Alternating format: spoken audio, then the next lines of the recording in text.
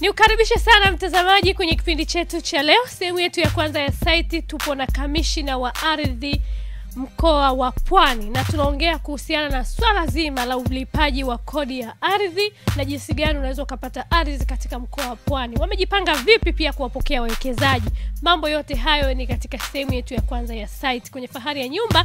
Leo tunaongea na mwanamke kinara Anastasia Kubio. Yeye ni mdau mzuri sana kwenye masuala ya mapambo ya ndani na atatueleza hapa ni jinsi gani unaweza ukapamba nyumba yako kisasa, lakini na wewe pia unawezaje kuwa mjasiriamali kwenye masuala ya mapambo ya nyumba. Tutaongea mambo mazuri sana kwenye sehemu yetu ya Fahari ya Nyumba. Mambo yote hayo ni katika kipindi cha leo. Niandikie maoni yako kwenye ujenzi at atv.tv tembelea kwenye akaunti zetu za social media, andika East Africa TV kwenye Instagram, Twitter pamoja na Facebook. Pia kipindi hiki unaweza ukakipata kwenye YouTube ya East Africa TV ukakiangalia tena na ukatoa maoni yako pale kuhusiana na kipindi cha ujenzi. Pia unaweza ukaniandikia maoni yako kwenye akaunti yangu ya Instagram, andika underscore John na utoe maoni yako pale kuhusiana na kipindi cha leo. Karibu sana katika kipindi cha ujenzi.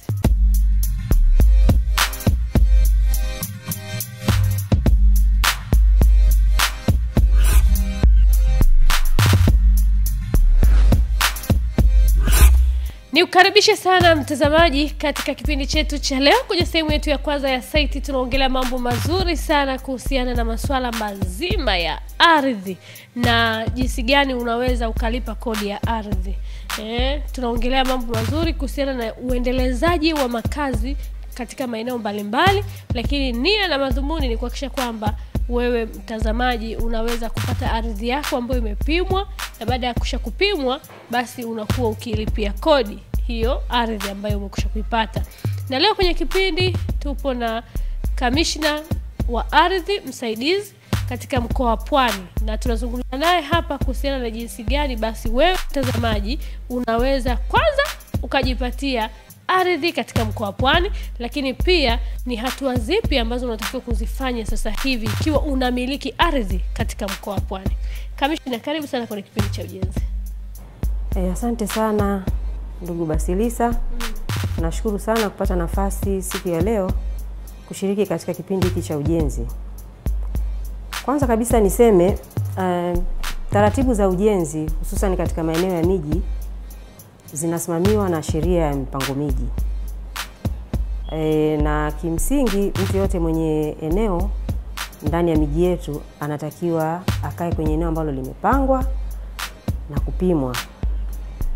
Na e, utaratibu huu sana sana, taratibu hizi zimewekwa ili kuhakikisha kwamba kwanza miji yetu iko imewekwa inaendelezwa kimpango, lakini pia ile mipango ya uendelezaji inazingatia sana kutokuwepo na mgongano wa matumizi kwa sababu nikisema hivyo namaanisha kwamba unaweza ukajikuta kama tungekuwa tunaendeleza bila kuwa na mipango hii ya matumizi, mtu anaweza akajikuta yeye ameendeleza maendelezo ya makazi, lakini kiwanja cha jirani kuna mtu ana kiwanja kwa ajili ya matumizi ya viwanda.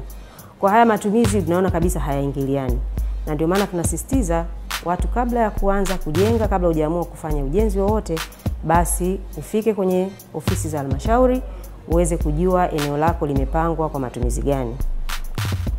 E, na pamoja na hayo uendelezaji hususan kwenye maeneo ya miji, pamoja na kuwa na hizo taratibu, lakini una masharti e, na hususan kwa wananchi ambao wamemilikishwa kwenye hayo maeneo wanatakiwa e, wanapewa masharti kwa maana ya kupewa matumizi, lakini masharti mengine ni kuhakikisha kwamba unaendeleza eneo lako ndani ya muda ule uliopangiwa na normally kwa matumizi ya makazi na maeneo hapa mjini muda ni miezi 36 toka ulipopewa hiyo miliki yako.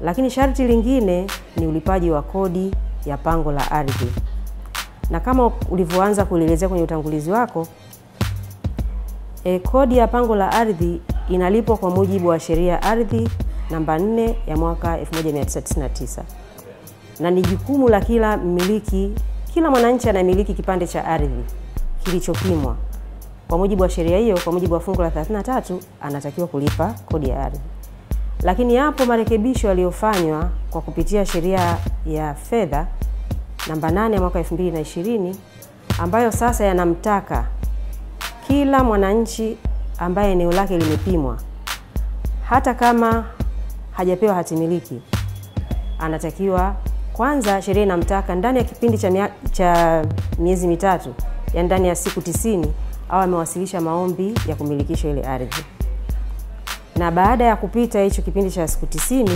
basi mwananchi huyo kwa mujibu wa sheria hiyo niliyoitaja anawajibika kulipa kodi ya pango la ardhi.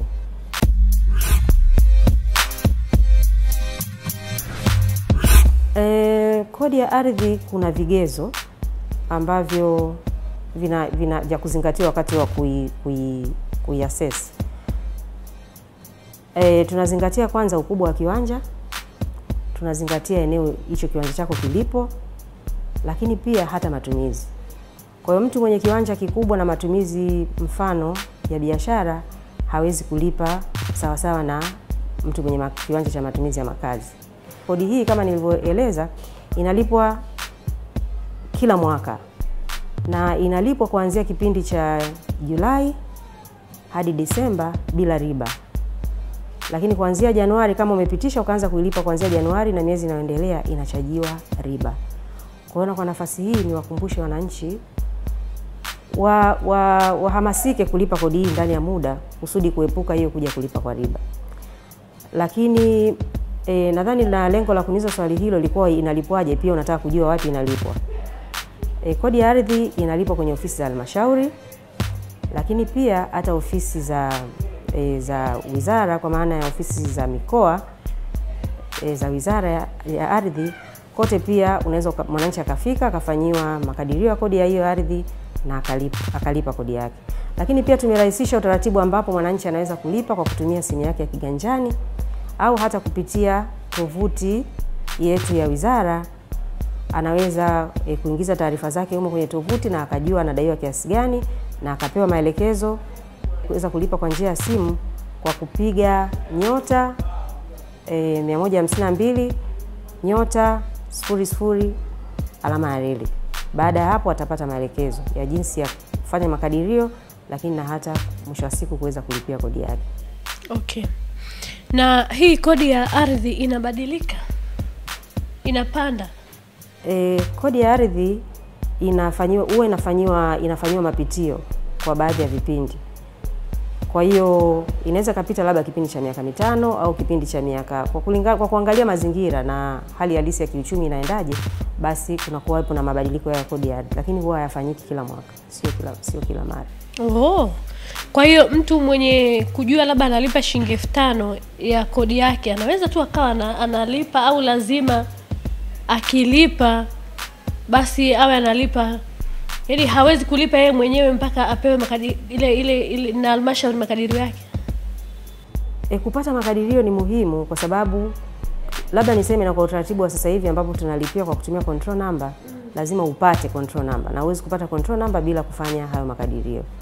Lakini kama mwaka huu na kama hatujatangaza kwamba kuna mabadiliko ya kodi ya ardhi, basi kama uli, kodi yako ni shilingi elfu tano kwa mwaka na hujapitisha kipindi kile nilichokisema kwamba umelipia ni ndani ya muda kuanzia Januari mpaka Disemba, basi utalipa shilingi elfu tano hiyo kila mwaka. Kamishna, kwenye upande wa ardhi sasa hivi, hebu tuambie ni zoezi gani ambalo linaendelea sasa hivi kwa wananchi? Mathalan, niseme ni mwananchi labda yuko mkoa wa Shinyanga, lakini ana viwanja e, labda na mashamba zaidi ya mkoa wa Shinyanga, labda ana kiwanja Dar es Salaam, ana kiwanja e, Arusha. Hana haja ya kutoka Shinyanga kwenda kuhakikiwa Dar es Salaam then akaenda kuhakikiwa Arusha na maeneo mengine. Anachoweza kufanya ni afike kwenye ofisi ya ardhi ambayo iko jirani na yeye, aidha ni halmashauri au hata ofisi ya hizi e, za ardhi za mkoa.